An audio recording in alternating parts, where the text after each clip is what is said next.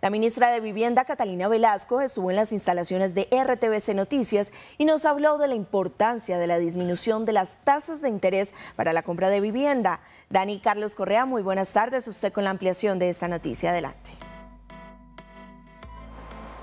Muy buenas tardes, saludo para usted y para todos los televidentes, tal cual usted lo estaba indicando. La ministra de Vivienda Catalina Velasco aseguró que en el país existe un panorama bastante alentador respecto a la compra de vivienda. Todo esto debido a la disminución de la tasa de interés que están estableciendo algunos bancos o entidades financieras.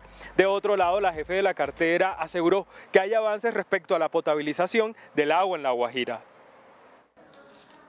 De acuerdo con la nueva tasa de interés establecida por el Banco de la República y las nuevas tasas que están implementando otras entidades financieras, donde algunas llegan al 10% efectivo anual para créditos de vivienda, la ministra de Vivienda Catalina Velasco aseguró que es un buen panorama para la compra de propiedades. Están todos los eh, bancos bajando tasas, compitiendo por los clientes. Esto beneficia a las familias porque baja la cuota mensual. Las personas que nos ven y quieren comprar una vivienda, Sepan que hay subsidios de mi casa ya, las tasas de interés están bajando, los constructores están ofreciendo proyectos nuevos, es un buen momento para comprar vivienda.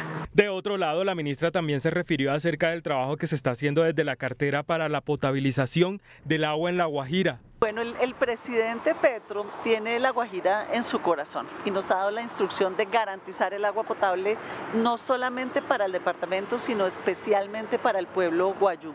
Hoy ya podemos decir que más de 91.500 personas cuentan con agua potable de calidad de manera constante. Esto gracias a la rehabilitación de infraestructura comunitaria, a los centros de abastos. Vamos a continuar en esa labor.